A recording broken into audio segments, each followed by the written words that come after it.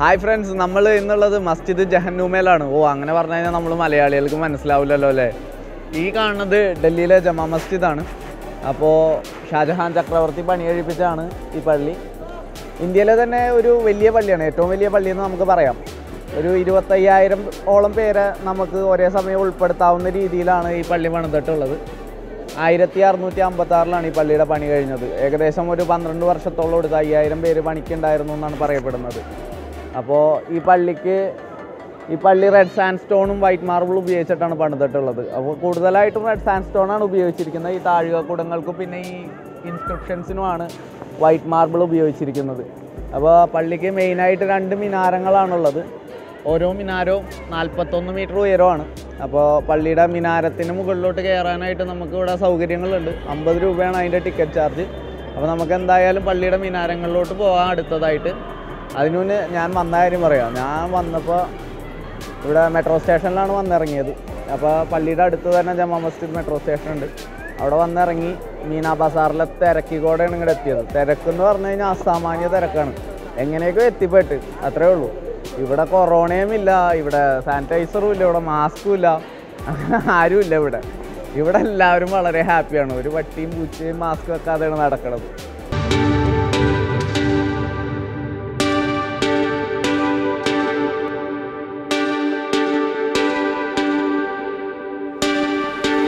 നമ്മുടെ ലാഹോറിൽ ബാദ്ഷായ് മസ്ജിദ് എന്ന് പറഞ്ഞിട്ടൊരു പള്ളിയുണ്ട്.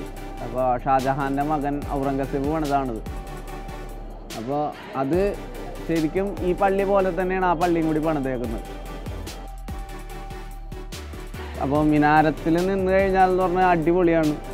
ഈ ഓൾഡ് ഡൽഹി മുഴുവനായിട്ട് കാണാം നമുക്ക്. നാല് വശത്തും നമുക്ക് അടിപൊളിയായിട്ടാണ് ഇവിടുന്ന് റെഡ് ഫോർട്ട് നല്ല രീതിയിൽ കാണാൻ പറ്റും.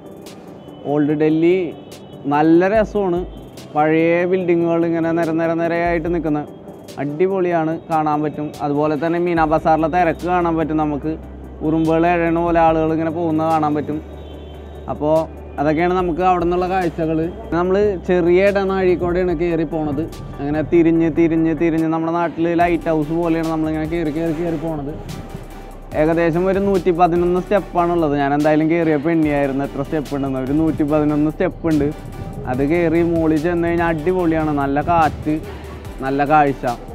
അപ്പോൾ നിങ്ങൾ ആരെങ്കിലും ജമാ മസ്ജിദ് വരണുണ്ടെങ്കിൽ ഒന്നുകൊണ്ടും മടിക്കരുത്. ഉറപ്പായിട്ടും ഇതിന്റെ മുകളിലൊന്ന് കയറണം ഓക്കെ? ഈ മിനാരത്തിന്റെ മുകളിൽ കയറി കഴിഞ്ഞ് കഴിഞ്ഞാൽ നമുക്ക് ഓൾഡ് ഡൽഹി പൂർണമായിട്ട് കാണാൻ പറ്റും. അതൊരു അടിപൊളി കാഴ്ചയാണ്. കാരണം എന്ന് വെച്ച് കഴിഞ്ഞാൽ ജമാ മസ്ജിദ് ഇപ്പോൾ വെറുതെ വന്നിങ്ങനെ പുറത്തുനിന്ന് കണ്ടുപോകുന്നതിനേക്കാൾ എത്രയോ അടിപൊളിയായിരിക്കും എന്ന് എനിക്ക് നിങ്ങളെ പറഞ്ഞറിയിക്കാൻ പറ്റില്ല. അപ്പോൾ നിങ്ങളത് വന്ന് അനുഭവിക്കുക തന്നെ വേണം. നിങ്ങൾക്കെല്ലാവർക്കും എന്റെ ഇന്നത്തെ വീഡിയോ ഇഷ്ടപ്പെട്ടു എന്ന് കരുതുന്നു. അപ്പോൾ ജമാ മസ്ജിദ് എന്തായാലും കാണാൻ വരണം. ഡൽഹിയിൽ വരുന്നവരാരും മിസ് ചെയ്യാറില്ല. അപ്പോൾ വരുമ്പോൾ എന്തായാലും മിനാരം കയറാൻ മറക്കരുത്. ഓക്കെ അപ്പോൾ എന്റെ വീഡിയോ ഇഷ്ടപ്പെട്ടെങ്കിൽ നിങ്ങൾ ലൈക്ക് ചെയ്യുക ഷെയർ ചെയ്യുക പറ്റിയ സബ്സ്ക്രൈബ് ചെയ്യുക. ഓക്കെ അപ്പോൾ അടുത്ത വീഡിയോ വരേക്കും. ബൈ